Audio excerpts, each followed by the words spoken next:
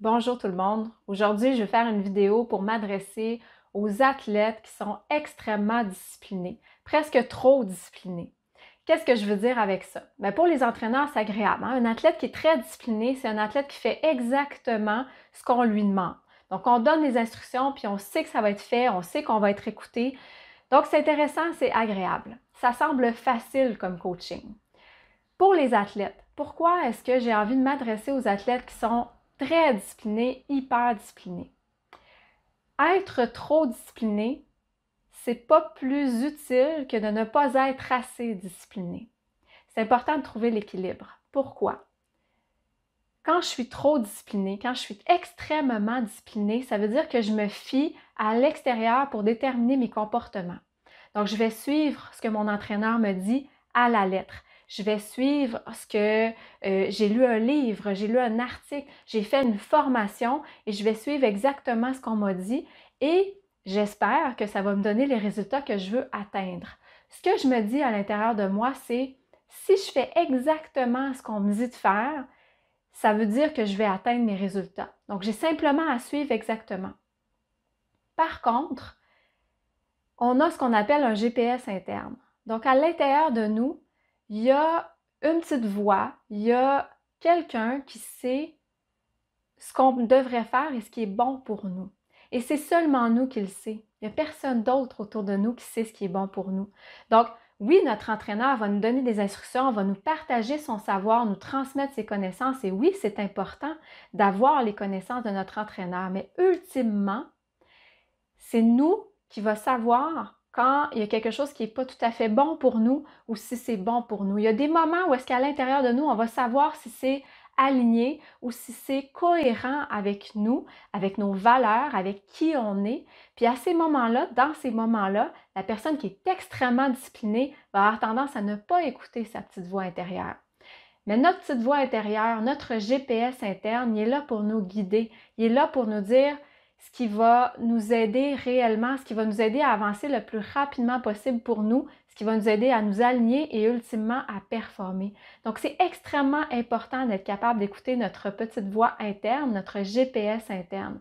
Et les personnes qui sont extrêmement disciplinées ont tendance à se déconnecter et en se disant, que les gens à l'extérieur de nous, que notre entraîneur, que le livre que j'ai lu, que le formateur, que le préparateur mental a toujours raison et que je dois suivre cette personne-là. Il y a beaucoup de gens autour de nous qui vont nous aider, qui ont raison sur certains points, mais c'est important d'être capable de faire preuve de discernement. La discipline sans le discernement, c'est inutile.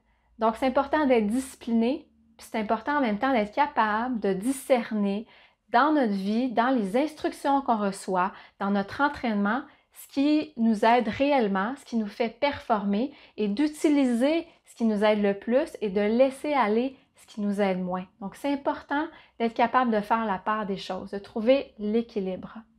Donc, quand on est extrêmement discipliné, on va avoir tendance à si notre entraîneur nous a dit de faire 25 répétitions, on va faire 25 répétitions, on va continuer tout le temps.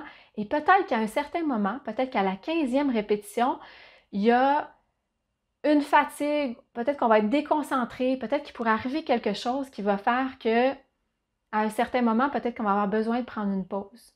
Peut-être que notre corps, parce que notre corps est intelligent, notre corps nous donne des instructions. Peut-être que ton corps va te dire c'est important de prendre une pause, ou c'est important de, passer à autre chose, ou c'est important de passer par-dessus ta peur, ou d'arrêter puis de faire un autre élément, de pratiquer autre chose. Donc notre corps nous guide, nous dit quand est-ce que c'est le temps d'avancer, quand est-ce que c'est le temps de prendre une pause, quand est-ce que c'est le temps d'aller ailleurs, et c'est important d'être capable de l'écouter quand on est très, très, très discipliné, on va continuer parce qu'on va vouloir faire exactement ce que l'extérieur, on va vouloir suivre exactement la demande extérieure. Maintenant, qu'est-ce qu'on peut faire quand on est une personne qui est extrêmement disciplinée pour trouver l'équilibre? Pour être capable de trouver un équilibre, il faut toujours être capable d'aller à l'opposé. Donc, si à un certain moment, je le sens pas ou j'ai envie de faire autre chose. Je fais une routine, par exemple, j'arrive à mon entraînement, je fais toujours exactement la même routine, euh, je mange toujours la même chose, je me couche à la même heure, donc j'ai mes habitudes, j'ai ma routine. Les personnes qui sont extrêmement disciplinées ont souvent une routine très disciplinée aussi, très organisée, très structurée. Si à un certain moment, je sais que c'est ce que je dois faire, mais j'ai pas envie de le faire. Donc, les personnes extrêmement disciplinées, qu'est-ce qu'ils vont faire? Ils vont le faire quand même. Mais si je sais que c'est ce que je dois faire, mais je n'ai pas envie de le faire, à certains moments, je ne le fais pas. Il faut aller à l'autre bout. Donc, je ne veux pas le faire, je n'ai pas envie de le faire, ça ne me tente pas, je ne le fais pas. Et si, avec le temps, je commence à écouter ma petite voix intérieure, à ne pas le faire, puis voir qu'est-ce qui se passe. Ah, peut-être que si je me couche un peu plus tard aujourd'hui, peut-être que je vais pouvoir faire quelque chose, lire l'article ou lire un livre ou écouter une musique qui va me permettre de relaxer, puis peut-être que je vais encore mieux dormir après. Peut-être qu'il va se passer quelque chose de positif si je ne fais pas ce que je suis censée faire et si j'écoute ma petite voix intérieure. Mais pour ça, je dois l'essayer. Donc, il faut prendre un risque. Il faut essayer des fois de s'écouter et de ne pas faire ce qu'on devrait faire ou ce qu'on pense qu'on devrait faire. Puis voir qu'est-ce qui va arriver.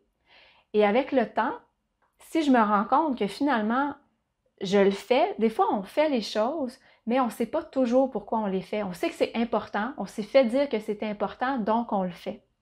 Quand j'arrête de le faire, je vais voir si vraiment ça m'apporte des bienfaits ou pas. Et si je réalise que ça m'apporte vraiment des bienfaits, la prochaine fois que je vais le faire, mais que ça ne me tente pas, je vais être en mesure de faire un choix parce que maintenant, je sais ce que ça m'apporte.